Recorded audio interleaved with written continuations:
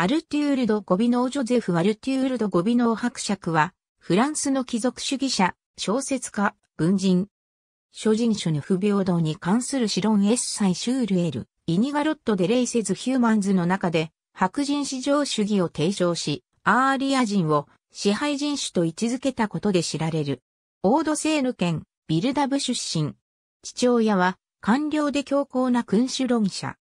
母親アンヌ・ルイーズ・マドレーヌ・ド・ジェルシーは、王室税務官の娘でサントドミンゴ生まれのクレオール女性であり、ポーリーヌ・ボナッパルトの女官を務め、感傷的な長編小説 Marguerite d'Alby、回想録 Une vie de femme, liée aux événements de l'époque を著した。ゴビノーは14歳の時、他の男と駆け落ちした母に連れられて、スイスで数年間を過ごし、この地で東洋趣味への興味を育んだ。フランスに戻った当時は7月王政の末期であり、彼は反動主義者の雑誌に連載小説を書いて生計を立てた。この頃、アレクシド・トクビルと友情を結び、膨大な量の書簡をやり取りした。ゴビノははじめペルシアに、次いでブラジルやその他の諸国に赴任し、第二帝政時代に外交官として成功を収めた。ゴビノによると人種こそは文明の延源であった。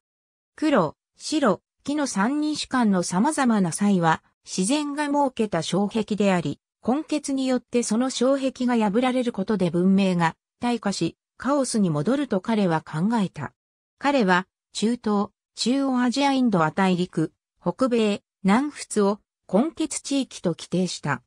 ゴビノーは古代陰謀文化を引き合いに出しつつ、白色人種の優越性を主張した。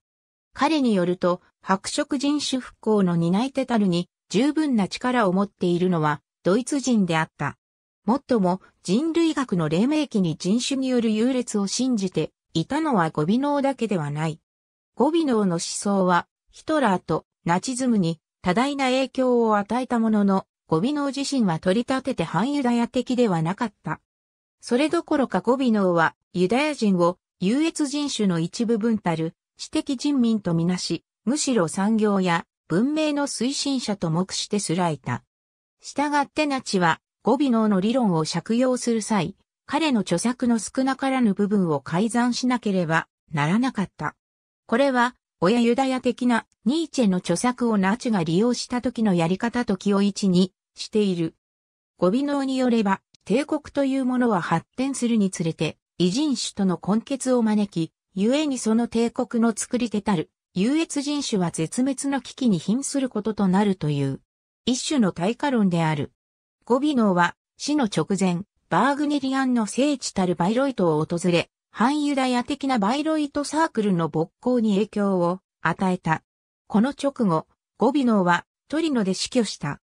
ゴビノーの定義によれば、スペイン人と大半のフランス人、大半のドイツ人、南部及び西部のイラン人、スイス人、オーストリア人、北部のイタリア人、そして大半のイギリス人は根血により退化しつつあるという。彼はまた、北部インド人の大半は黄色人種に属するとも述べている。バハイ教との間でゴビノーは、ペルシア帝国におけるバーブ教牧講師の唯一の完全版を手に入れた人物として知られている。この趣向は現在、パリのフランス国立図書館に保管されている。ゴビノはまた、複数の長編小説を書いた。代表作は1874年のレプリーディーズである。戯曲ラルネッサンス、角川文庫、いずれも絶版は当時高く評価された。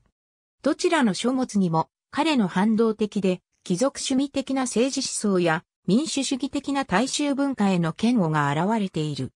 ゴビノーは自分自身を北欧のバイキングやイタリアのコンドッティエーリの末裔と信じていた。